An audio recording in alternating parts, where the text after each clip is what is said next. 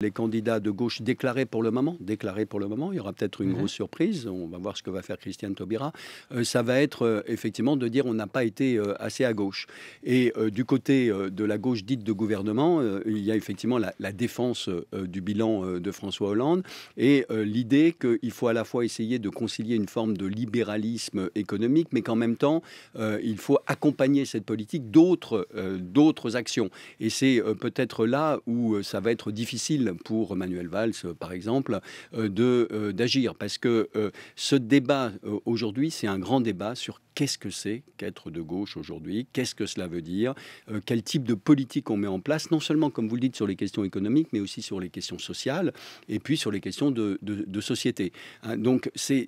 un débat qui n'est pas tranché et qui, je pense, va être peut-être, comment dire, mis sous le boisseau à cause de la victoire de François Fillon euh, à droite. Parce que euh, la victoire de François Fillon va sans doute reconstituer de manière un peu artificielle un clivage gauche-droite très classique. Et par conséquent, euh, on n'aura peut-être pas à l'intérieur de la gauche le grand débat que tout le monde attend depuis des années sur quel type d'orientation véritablement la gauche doit développer pour arriver au pouvoir, mais surtout pour l'exercer.